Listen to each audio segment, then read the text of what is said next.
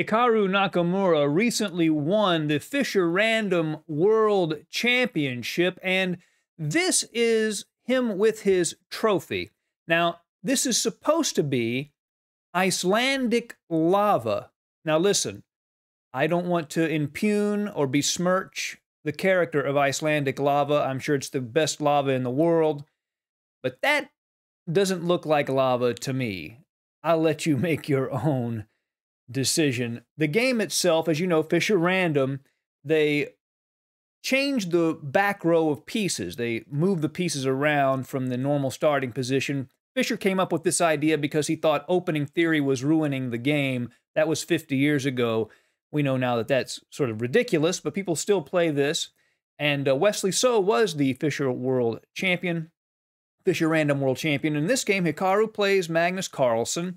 And uh, this is a victory from Hikaru, and this is really the game that put him over the top. This wasn't the last game that he played, but beating Carlsen in this game was, really the key to Hikaru becoming the new Fischer Random World Champion.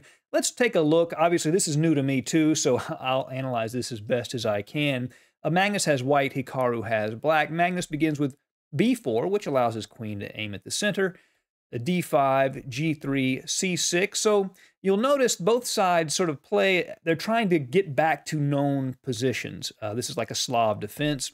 Uh, Carlsen plays bishop to g2. I'm not exactly sure why, just putting the bishop on a place, I guess he's more comfortable.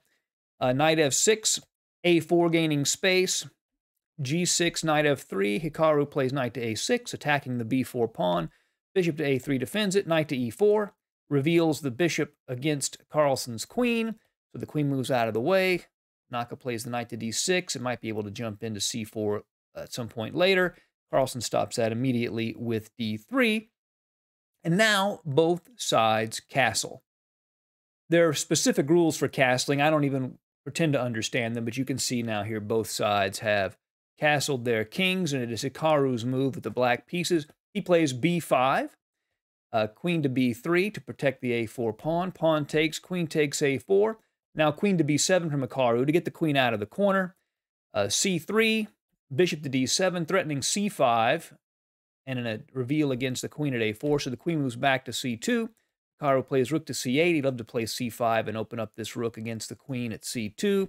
d4 sort of blocks that all up. It neutralizes the bishop. It keeps c5 from being played.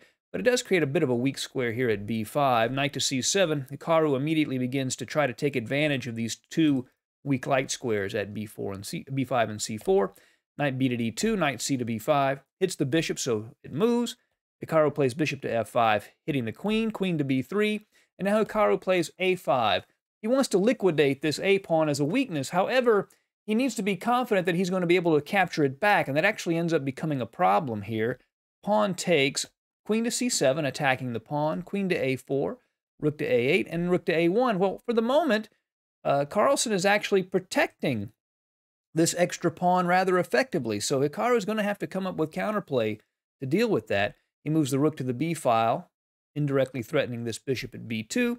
Rook f to c1, knight to e4, hits the c3 pawn.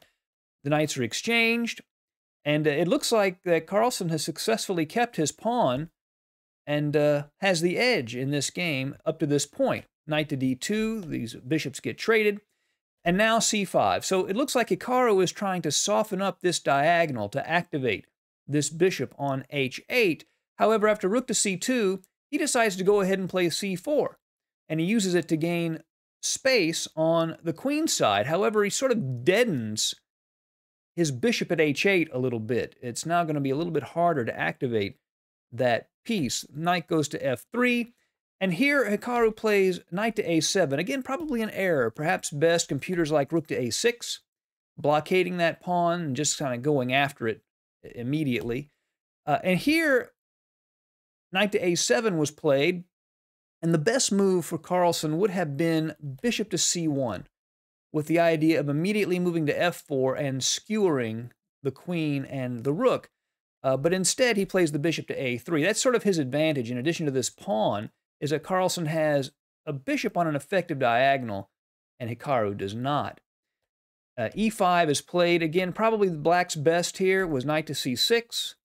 After advancing the pawn, rook to b6, and then basically trading off and getting a two rooks against a queen. The two rooks are better here because the queen doesn't have active targets, but this was probably uh, Hikaru's best idea in that particular position.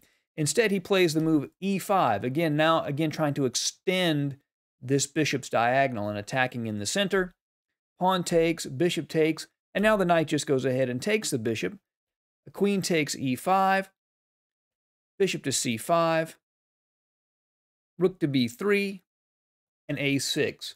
Now, it's spot the tactic time.